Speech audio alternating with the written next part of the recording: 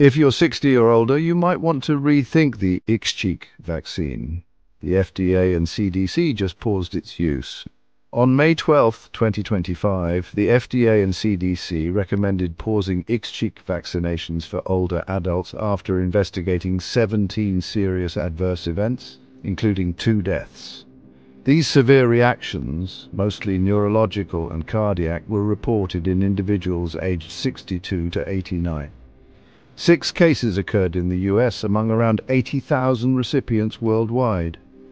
One of the fatal cases involved an 84-year-old man who developed encephalitis, while a 77-year-old man with Parkinson's experienced worsened swallowing difficulties.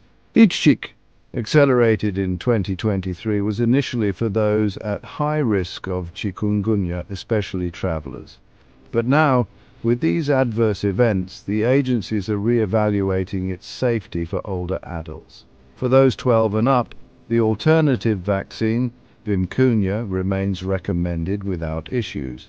Stay tuned as more findings emerge. Safety first. All information here are for educational purposes only. Follow Dr. Izag for more innovative videos.